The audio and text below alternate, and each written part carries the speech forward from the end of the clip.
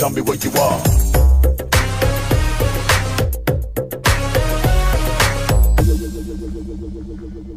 Hallo, dit is Marky 2200 weer en vandaag heb ik voor jullie, zoals beloofd, de L96A1 van Call of Duty Black Ops. Dus de L96A1 komt officieel uit 1982, toen op dat moment de Britten nog de Lee Enfield gebruikten voor een dikke 90 jaar. Maar wanneer ze in het begin van de jaren 80 een nieuw wapen zochten, hadden ze keus uit drie wapens, namelijk de PSG-1, de Remington 700 en het winnende wapen, namelijk de L96A1.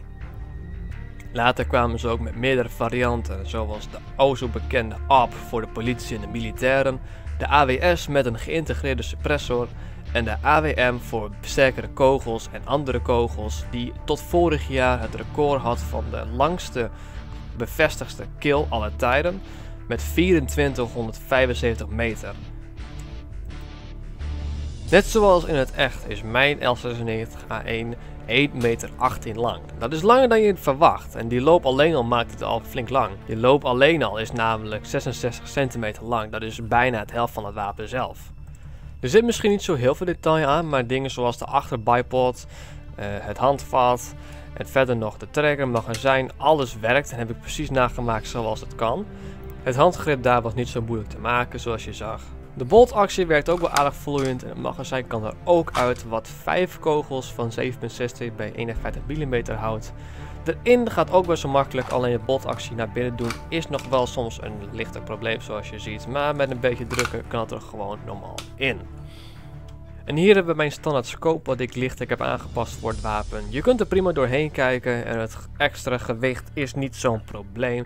Maar nu zetten we hem dus op de L96A1 en zoals je ziet, ziet het er niet verkeerd uit. Maar nu heb je ook echt een complete pakket wat je ook normaal ziet in Black Ops. Alle handelingen zijn nog normaal uh, te doen. Je hebt een beetje extra gewicht erbij. Maar op zich is het, nou ja, niet verkeerd. Boltactie is nog steeds wel een beetje moeilijk naar binnen te werken. Maar dan was je sowieso al. En met het extra gewicht erop is het niet veel beter. Maar op zich is het niet zo heel erg verkeerd eruit zien. Ik bedoel, alles uh, ziet er nog normaal uit. Het gewicht zelf is oké, maar het, dat kan ik wel verwachten van een wapen wat zo lang en zo groot is. Ik bedoel, wanneer je alleen maar kijkt naar de loop, dat is al extreem groot. Maar daar heb ik ook een oplossing voor gemaakt. Want ik heb namelijk ook een variant gemaakt waarmee de loop korter is. Waarvan dit het resultaat is. En zoals je ziet, ziet het er best wel grappig uit.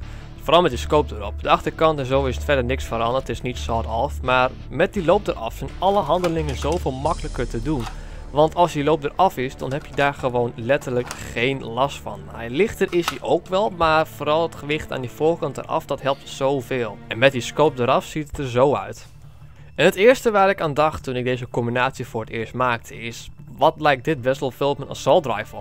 Ik bedoel, als je de Saw of Barrel er zo hebt, ziet er op zich wel zo prima uit. En dat was eigenlijk ook iets wat ik uh, later wil gaan maken.